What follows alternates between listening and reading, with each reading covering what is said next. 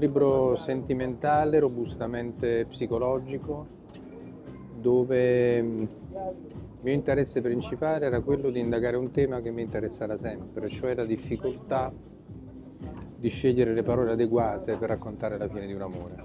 Diciamo, la sintassi dell'addio è il tema del libro ed è anche l'occasione in cui questa coppia, che è composta da uno scrittore e un'oncologa, devono affrontare questo evento e scontenti del lavoro dei rispettivi avvocati decidono di fare da sé e di iscriversi da sé questo ricorso congiunto, solo che poi cambiando eh, diciamo, il luogo in cui vanno via di casa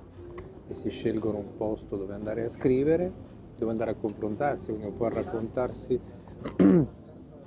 la storia del loro amore finito,